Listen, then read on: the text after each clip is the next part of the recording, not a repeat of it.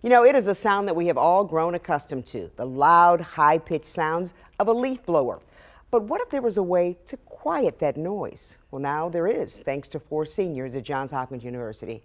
WMAR 2 News' Janae Wright has the details.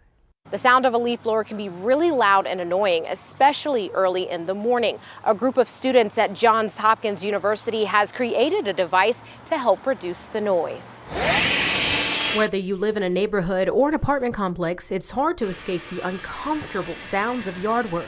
So by hearing a lower, more pleasant frequency, overall tune um, of the leaf blower, like that would be a much more pleasant experience than hearing that high-pitched whistling noise that can frequently annoy your neighbors at 8 a.m. when they're trying to sleep. We can probably join the two parts with ultrasonic welding. Four seniors, with the support from Stanley Black & Decker, have the task of quieting the leaf blower without reducing its power. But Andrew Palacio says it wasn't easy. Many, some of them succeeded, some of them failed. Um, that's just what the engineering process is all about. But with that, we eventually came across the final prototype that we have today.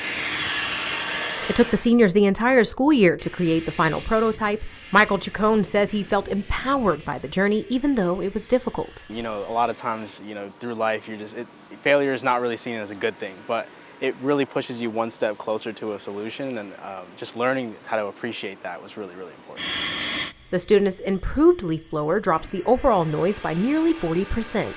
As air is coming in through the back, through the fan, and down the leaf blower, some of the air is going to be going through these helical channels that we've designed here to target a specific frequency and create destructive interference as it exits and recombines with the airflow going through the center. In other words, we kind of just shifted the sound waves such that the peaks canceled out and we got less noise out of it.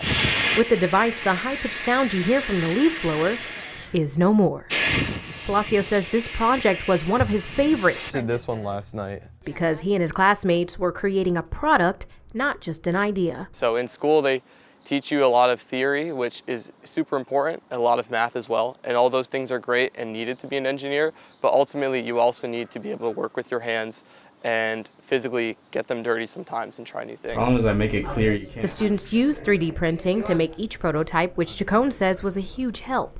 He says the research was faster since they could make each design in less than a day and test it out immediately. See that one thing that we developed on a, on a computer software is now like physically in our hands. I think is, is a really beautiful kind of feeling that uh, it's very rewarding. Right, because the blade pass frequency is a lot and since the students were able to succeed and create a device that actually works, they say they're excited to see it put to use one day.